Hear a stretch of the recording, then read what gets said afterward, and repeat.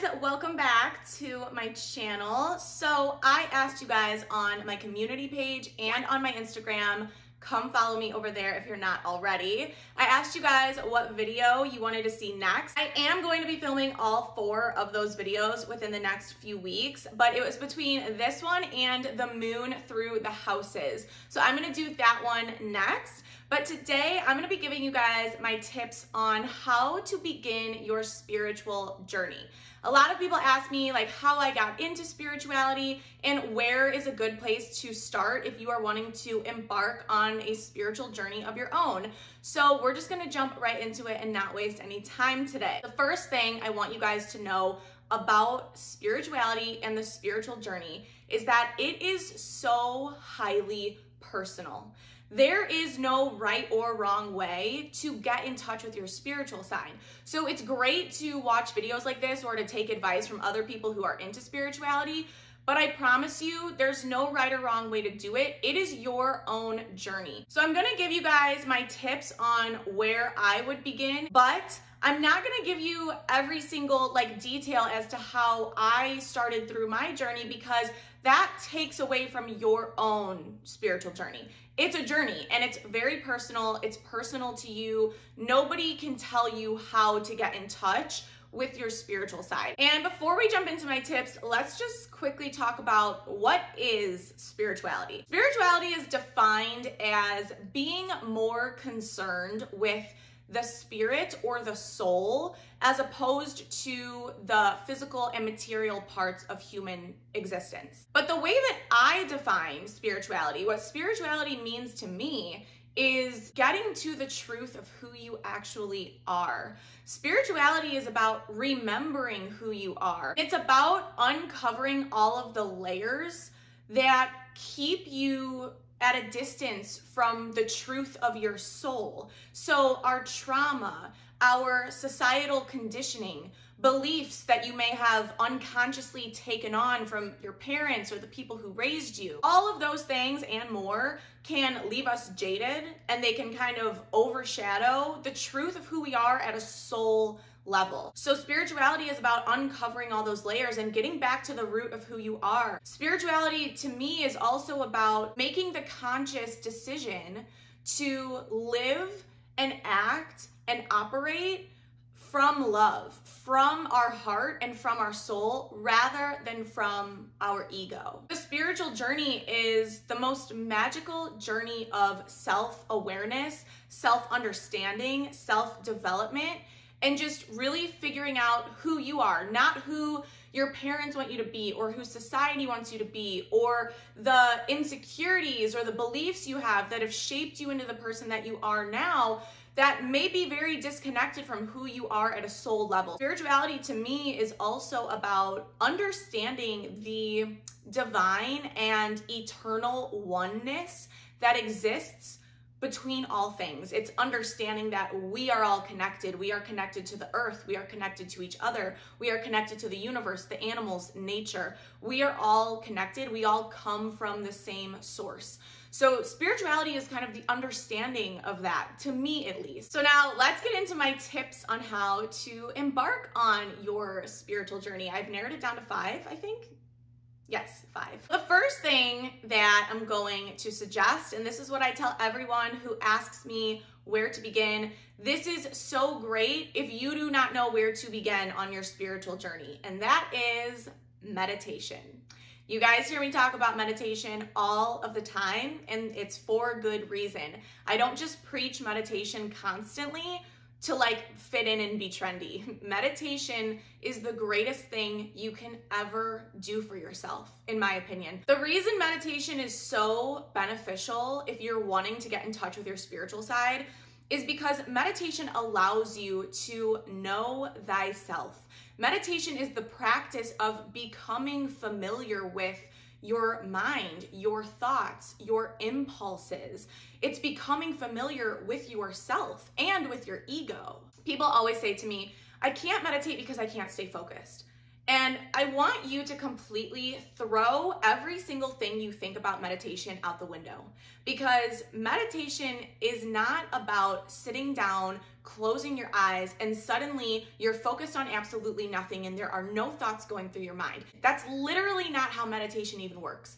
You're gonna sit down, you're gonna close your eyes, you're gonna focus on your breath, and then thoughts are going to come in.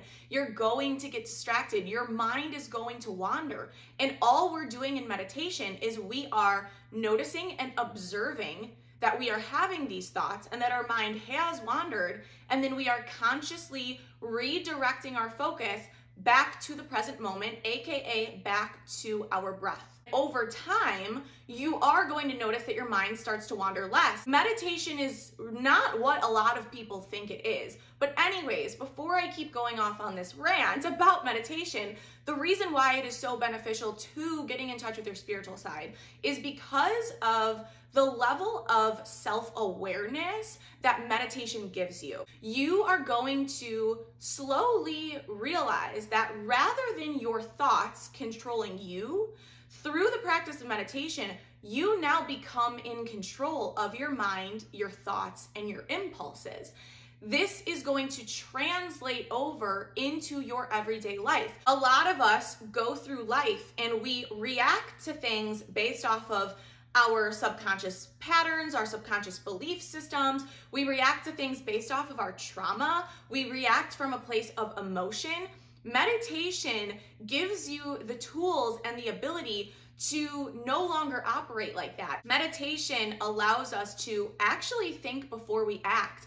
And then we are making decisions and we are reacting to things from a place of groundedness and being centered and being calm. It just really helps you to make the decision that you want to make from your soul and from your heart rather than an ego reaction. Meditation makes it easier to discern what is my ego and what is my heart or what is my soul. So the amount of self-awareness that you bring into your consciousness by practicing meditation will transform your life and it will also open your eyes to the way that you speak to yourself, the way that you speak to others. It will open up your eyes to your impulses and to your ego and just to the way that you have been acting and reacting for your whole life. Self awareness is such a huge part of spirituality. I will forever recommend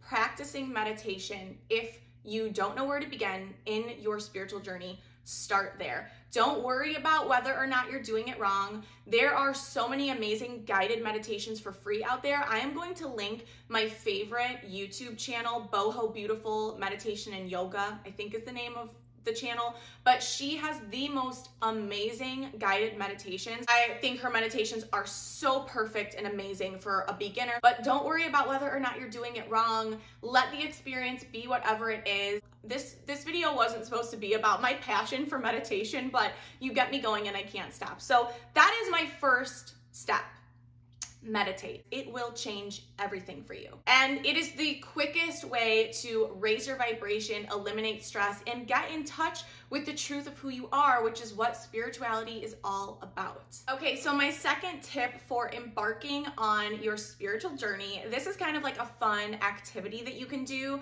and that is to find a metaphysical shop in your area. Now, you do not have to physically go to a metaphysical store you can look online at a shop or you could just Google different like spiritual, you know, like interests and stuff. I understand not everybody has a metaphysical shop near them. You may not be able to leave your home right now to go to a metaphysical shop because that's really spiritual. But anyways, this is actually something that I was encouraged to do by a psychic I knew when I first got into spirituality, like right when I went through my spiritual awakening. Just browse around with no expectations. Look at everything, even things that maybe you would normally not think you would be into. Just browse around the shop. Whatever piques your interest, whatever you are drawn to, start there. I was immediately drawn to crystals and tarot cards um, and astrology, but I had already been into astrology before my spiritual awakening. Um, but I was really into crystals and tarot cards. And so I just started researching. One of the funnest parts about embarking on a spiritual journey is the research and the learning and the knowledge that is out there for you to gain. I started really looking into crystals and crystal healing. I started really learning about tarot. I learned how to read tarot. I started buying tarot and oracle decks. And one thing just kind of led to another. Try anything and everything. And if you like it, great. Stick with it and research it and learn about it and practice it. And if you don't like it, then that's fine. You should always be doing whatever resonates with you, whatever feels natural to you, whatever you are drawn to. And there are so many different spiritual interests and practices and like rituals that you can get into. So maybe it's astrology, tarot cards, crystals, Reiki, yoga, herbs. You know, there's so many different things. I was really drawn to Dr. Joe Dispenza. I talk about him a lot. I started really looking into his work. There are so many different things that are out there, and maybe none of those things resonate with you. The thing is, the spiritual journey is so magical. Once you start diving into different things that interest you, the information is just gonna fall in your lap. It happens in a very magical and divine way. Things just start coming to you. You actually don't have to go out looking for it it honestly just falls in your lap when it's meant to be at the perfect time. But again, as a reminder, spirituality is an internal experience. So you don't have to go out and like do anything. You don't have to buy anything. You don't have to have anything to be spiritual and to get in touch with your spiritual side. So if you want to get into that stuff, go for it, but don't feel like you have to. They're just tools. They're tools to help you along your journey, but they're not like it's not necessary to have any of that stuff. All right, my third tip. This is something that is so easy, so powerful, and I feel like so like underrated and that is to talk to the universe, talk to God, whatever you believe, whatever resonates with you. If you don't know what you believe, just talk to the universe. Just talk out loud, talk in your head. Talk to something greater than yourself if you don't know, you know, what you believe. Honestly, just ask the universe to show you the way tell the universe that I'm ready to open up spiritually. I want to embark on a spiritual journey. I don't know where to begin. I don't know which direction to go. You know, will you please show me the way? I think a lot of people turn to spirituality in times of suffering. So many people that come to me and ask, like, how do I get in touch with my spiritual side? How did you get into spirituality? Most of those people come to me when they are in pain, when they are suffering, when they don't know where else to turn. There's just something inside of them that kind of pushes them that direction. But a lot of times it is when people are in pain or suffering or trying to recover from something, when they're in need of healing. You know, the spiritual journey is, is a healing journey. Talk to the universe. Because when you do that, you are opening yourself up to receive that guidance but you are also setting an intention. You're setting the intention of wanting to connect with your spiritual side. And intention setting is so, so important. When we are specific with the universe, when we tell God what it is that we want and what it is that we need, you will be amazed at the way God works for you and opens up doorways and opens up your eyes. You will be so amazed when you realize that the universe is listening and has always been listening. And now that you have set that intention and you've kind of opened yourself up to that, you'll be amazed at the way things magically start to fall again, right in your lap, right on your path. You will start to be guided in the way that you are meant to go. And that's when your spiritual journey will begin. You have to allow yourself to be guided by spirit and to be guided by your soul and to be guided by your intuition. You have to open yourself up to that.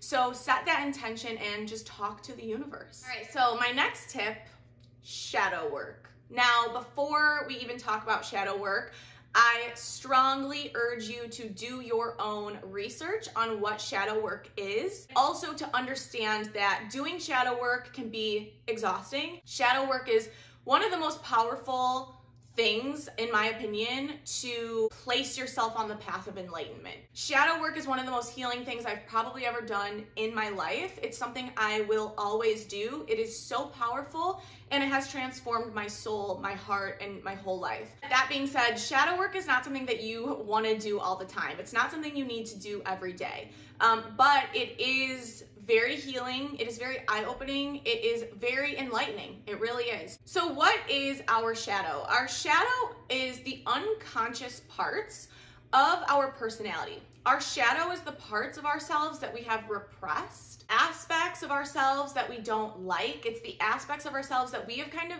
deemed as bad or negative, and we have repressed it We've shoved it down, we've shoved it out of our conscious awareness, we have just completely pushed it away from us. But it exists within us. Our shadow is there. I'm always telling people that ignoring things does not make them go away. So if you hate certain aspects of yourself and you just want to put it out of your mind and forget about it, that's great, but it doesn't go away. And the thing is, our shadow plays a huge part in the way that we navigate through our lives.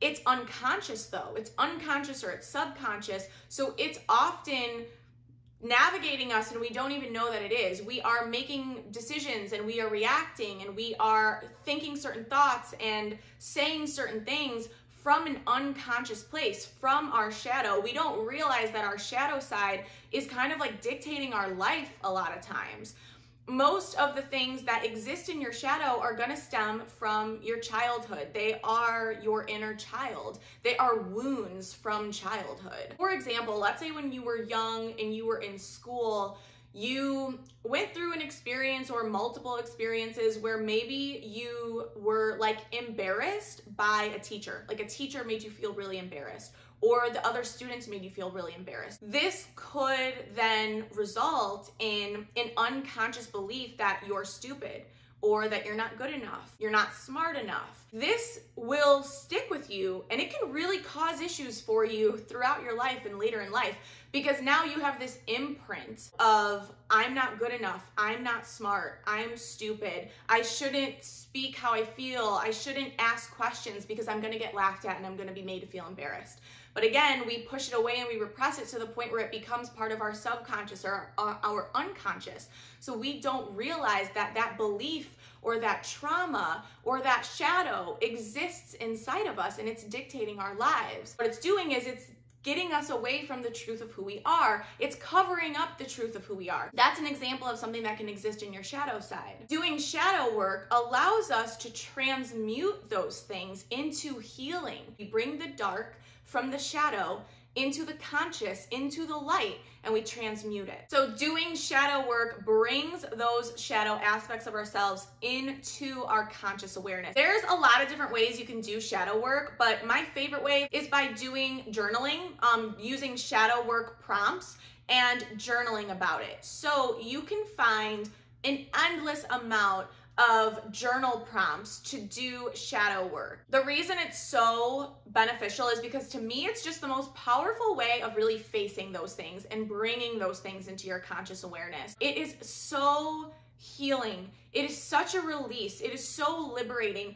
It seems scary. Like some of the questions when I do shadow work, especially when I was first getting started, I would like avoid certain questions because I was like, I just don't want to answer that. Like, I just don't want to go there with myself. I'm ashamed. I'm embarrassed. I like, I know deep back in the back of my mind what the answers are, but I just don't want to face it. It could be scary, but when you actually do it, I swear you'll be like, why didn't I do this a million years ago? Like, why was I afraid to do this? But it can be difficult. It can be heavy on your emotions and energetically. So that's why I said don't be doing shadow work every single day. Do what's healthy for you. So, for example, a shadow work prompt you might find, like one of the questions might be, what is a promise to yourself that you have broken or you continue to break and why? Why do you keep breaking that promise to yourself? So you could see why shadow work is so powerful because it actually makes you stop and think about these things and think about the why. Why do I do this? Why do I keep doing this? Another one could be, you know, what is an embarrassing moment that happened to you and why did it make you feel embarrassed? So again, it's getting to the root. It's actually analyzing these things that we have avoided processing for sometimes years, right? There are so many amazing shadow work prompts. Shadow work is just honestly, it's incredible and it really is such a release. It is so healing and it really does just make a huge difference in your life. I recommend shadow work to anybody. And as you can see, the common theme with spirituality is awareness, self awareness. It's about being consciously aware of your behaviors, your thoughts, your emotions, your actions, the energy you put out into the world, becoming aware of your insecurities and the ways you hold yourself back and the beliefs that you have about yourself and about the world and about other people and you know all that stuff. It's all about awareness and bringing things into your conscious awareness because if you are not aware of something, then you can't change it. All right, the final tip I'm gonna give you guys, and again, there's a million things I could, you know, recommend you guys do, but it's your journey, not mine, and it's yours to travel, and the magic will unfold in front of your own eyes. But the last tip I have for you guys is, can you guess what it is? My favorite thing ever, astrology. now, I do not mean go out and learn astrology and study astrology and become an astrology enthusiast and like a professional astrologer. No, you don't have to do any of that. What I want you to consider is just using astrology for self development. Astrology is the most powerful tool for self awareness, self understanding, self development, self improvement. A lot of people go through life with certain behaviors, certain tendencies, certain like personality traits, or maybe you find that the same types of things keep happening to you. You keep finding yourself in the same circumstance over and over again. You keep dating the same type of person. A lot of people never stop to think and actually analyze why am I the way that I am? Why do I do the things that I do? Why do I operate the way that I operate? A lot of people never actually really stop to ask those questions. So, what astrology does for us when we look at our birth chart, it forces us to actually stop and analyze ourselves. And it opens our eyes to so many things about ourselves. I remember what really made me fall in love with astrology was when I discovered what a moon sign was. And you'll hear a lot of astrologers say that that is what made them fall in love with astrology and dedicate their lives to it was the discovery of a moon sign. When I found out what a moon sign was and what mine was, it was the first time ever in my entire life where I felt understood. I started reading about it and I was like, everything I've ever felt, thought, and experienced that I've never been able to verbalize or even make sense of in my mind, I'm reading, I'm reading all of it right now. It's all being made clear to me.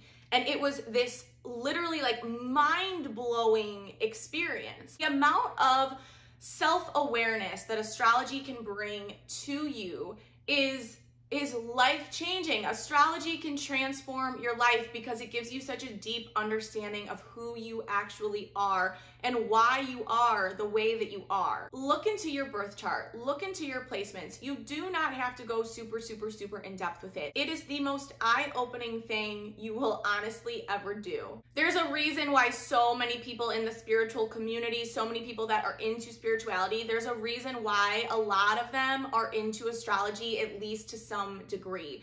Understand at the very least your sun, moon, and rising. Look into those and that's really going to open up your eyes to so many things. It's going to answer so many questions. Like that's one of the coolest thing about astrology is when you start learning about your chart it answers so many questions that like you didn't even know you needed the answer to. It's just eye-opening. It literally is enlightening.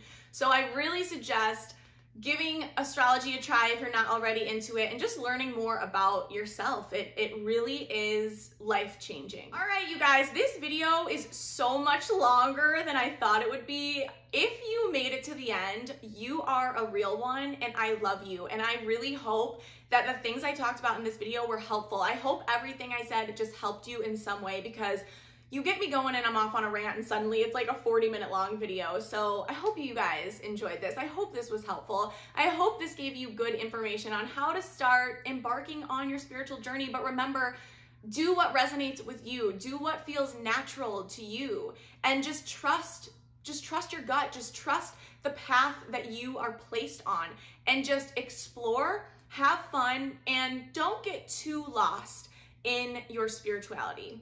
Yes, we want to be concerned with the soul and the spirit, but we are also human and we came here to be humans. It took me a long time to figure that out because I got lost in spirituality for a while. I'm gonna stop babbling now because I feel like this video is so long. People are probably not even watching. I love you guys so, so much. Please, if you enjoyed this, give it a thumbs up. Don't forget to subscribe if you haven't already. I love you guys. I will see you in my next video.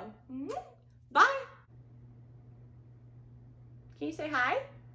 Can you say hi? Hi? No, you just want to bite me?